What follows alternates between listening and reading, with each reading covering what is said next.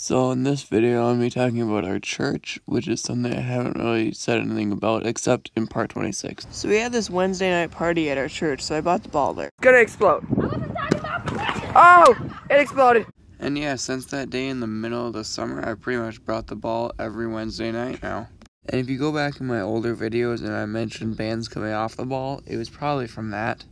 Also, if you go back to part 19, the ball just randomly gets this blue stuff on it. That was because of that.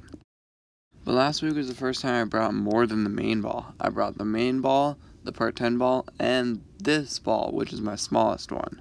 Also, that ball lost quite a bit of bands, and it looks like this now. And two different kids brought me these tiny rubber band balls that they had made out of them. And the youth group is held in this big gym that I don't really have any footage of. But last week we were dropping rubber band balls off a balcony that's there. And next week I might bring all the balls in and record dropping them. So let me know what you think would be cool to do with that.